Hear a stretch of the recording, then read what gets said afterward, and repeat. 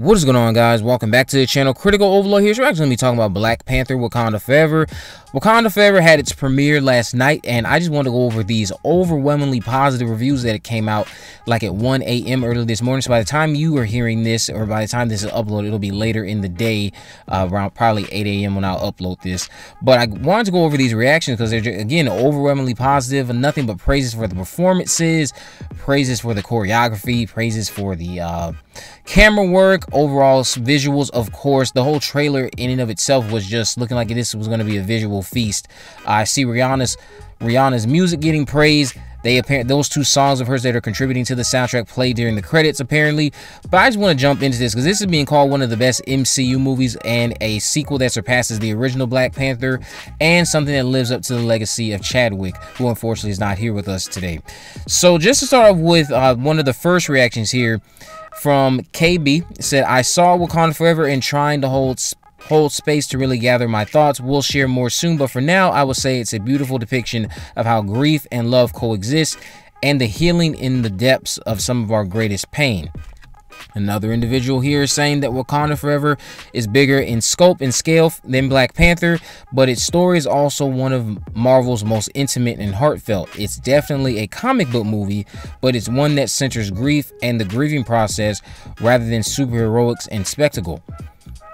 Another individual, Wakanda Forever is fantastic. Coogler delivers a soulful, wondrous sequel that packs an emotional punch and effectively explores relevant world themes. A beautiful tribute to Boseman's legacy. Letitia Letitia and Tenoch are great, and the mid-credit scene is really moving. Another person here, Sammy. Shout out to you, Samuel. I haven't spoken to you in a while, but shout out to you. Wakanda Forever is easily the best Marvel film since Avengers Endgame. The scope, the camera work, the acting, and the raw emotions on and off screen can be felt throughout. This is the Marvel I've missed. I have one word in my heart all night. Wow. Another individual, it's hard to shake the emotional weight Black Panther Wakanda Forever carries throughout the entire film. More serious in tone, a wonderful conclusion to Phase 4. It celebrates women as the fiercest protectors of all.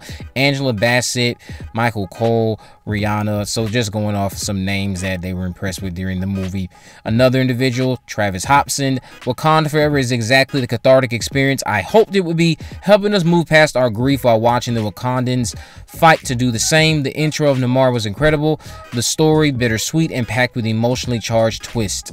Another individual, Black Panther Wakanda Forever is an epic emotional roller coaster of an adventure. Cried numerous times and have no shame. Letitia Wright performance as Shuri was one for the age, a complete elevation of her previous times.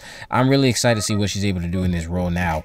So another individual same Marvel Marvel's magnum opus, Ryan Coogler does it again, delivering a very emotional, epic, and sexy, horny adventure. Wow, this isn't just another superhero movie, it's one of the best films ever. Great action too, a fitting in setting up what's next. Someone else Wakanda Forever is the best MCU project since She-Hulk. Namor is a standout. Now that first comment, that has to be a joke. Namor is a standout. Marvel's first mutant given the respect he deserves. Make sure to stay for the insane post-credit scene, which provides a major setup into Secret Wars. Someone else, Black Panther Wakanda Forever is Marvel's most poignant and or poignant and powerful film to date. It's heavy and dark in the way that it needed to be and mostly abandons the studio's trademark tone. The craft work levels the craft work levels up in every conceivable way, and the performances rise to the occasion. Someone else says Wakanda Forever is blockbuster filmmaking on another level. It surpasses the incredible first film with high stakes and thrilling world building. World building. It's an emotional, dark journey leading to a full-scale war, but always feels personal. This may be the best. This may be the best Marvel movie yet. Someone else says, though not without its flaws, Black Panther Wakanda Forever accomplishes the difficult task of reckoning with real tragedy while also delivering the same sense of excitement and adventure that has defined Marvel Studios since the early days. Another individual, Mar Wakanda Forever is one of the best films Marvel Studios has put out. Beautiful storytelling, character development, and a great tribute to Chadwick Boseman. Now, I'm not going to read anymore. There are so many positive, overwhelmingly positive reviews about this movie that is just warming my heart because of the fact that they're highlighting key things that I am a big, big supporter of. They are very important to me. Character development, pacing, I cannot tell you enough how much those two things matter to me in terms of if you're going to have a movie, especially with considering how long this movie is. I think this movie is like over two hours and 41 minutes long, close to three hours long. And they're using the time wisely, it seems. They're giving these characters some compelling arcs. And I love how, yes, the real world tragedy of what unfortunately happened with Chadwick might have contributed to some of these emotionally moving performances we're about to see, considering the fact that the film will deal with T'Challa's actual death in the movie. And this could end up leading to one of the most emotional MCU movies we've had the pleasure of experiencing so far unlike anything we've ever seen before. I am loving how I'm seeing people say this might be one of the better Marvel movies to date. Also saying this movie surpasses the original. Um, and just loving how I, I can see in these reactions so far that this movie seems to be a step in the right direction and it's not something that craps on Chadwick Boseman's legacy. However, I do want to say this. Of course, we see this usually. First reactions sometimes they're always positive and then when the full embargo lifts because the full embargo has not lifted you start to see more context and more specifics about things that might not have worked instead of just getting things that are positive you're gonna get like the full scope of what people start to think because these aren't full reviews they're just going over what they predominantly think. And so far everything seems to be predominantly positive. Um, some people i have seen say that there might be some issues with the story that kind of highlights how important chadwick was to the movie.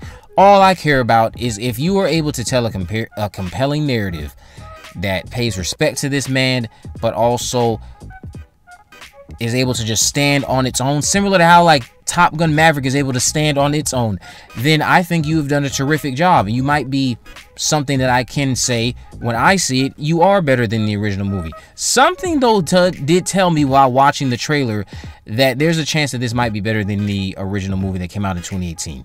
Something was just the, from the visuals and everything that was just in that trailer. Something was whispering to me this movie is going to surpass the original. Now, I'm seeing some people say it from the premiere. I haven't seen it yet. I'm going to see it on November 7th. But I'm very excited for Wakanda Forever, and these reactions were very heartwarming to see. And I hope everyone involved with the movie is proud of their work because it seems like you guys did a great job and you knocked it out of the park. So, congratulations. If you haven't already, of course, make sure you subscribe, turn on post notification that you never miss a video. In the description, I will have links to my social media accounts. I'm on Facebook, Twitter, and Instagram. You can message me there, of course, to let me know if there are any movies, news, or reviews you would like me to cover in the future. And with all that in mind, guys, I will see you in the next video.